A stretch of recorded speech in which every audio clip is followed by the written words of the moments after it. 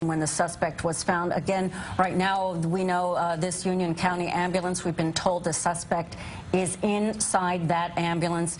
Ahmad Khan Rahami, who was wounded in a shootout with police after being found sleeping in a building earlier this morning. You see him pulling up to a University Hospital in Newark, where he will uh, apparently be treated for his injuries. He's taken several gunshot wounds. We don't have an exact number, but uh, the Linden Police Department tells us that their officers did open fire after he shot one of their officers. Uh, another officer uh, took a piece of shrapnel or, or bullet to the face, uh, said to be very minor injury there. The officers are expected to be okay. It appears that Rahami got the worst of this shootout. We did see pictures of him uh, lying on the ground, handcuffs behind him. His head was up. He was described as alert uh, and conscious by police on the scene, uh, but he is now there at University Hospital in Newark. The FBI taking over uh, and certainly going to keep a very, very close eye on him. There's also those five suspects who are being questioned uh, in lower Manhattan uh, about their potential involvement in all of this. They were picked up on the Belt Parkway near the Verrazano Bridge uh, just last night.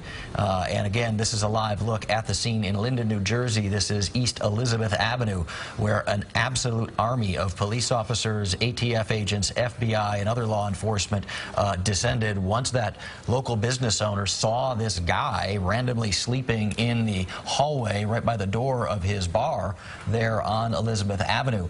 Uh, he called police. Police arrived and the suspect was woken up and suddenly opened fire. That's when a chase happened. The suspect uh, was described as running down Elizabeth Avenue, firing at cars that were passing by.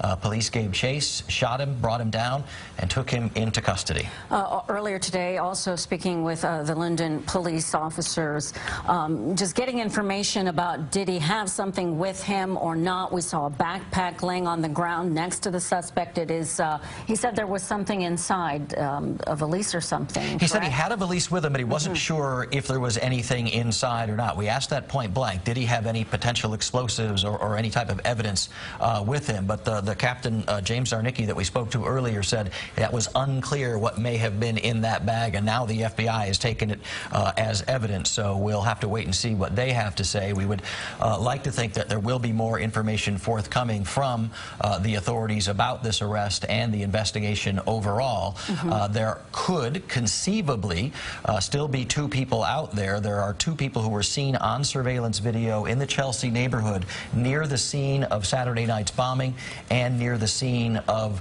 the uh, unexploded pressure cooker on 27th Street. So there is a possibility that there are others out there, but certainly uh, police are breathing a sigh of relief because this man, Ahmad Khan Rahami, a 28-year-old naturalized citizen of Afghan descent, is now in custody.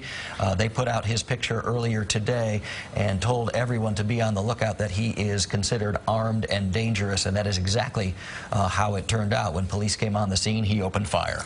From our live pictures again in Linden, New Jersey.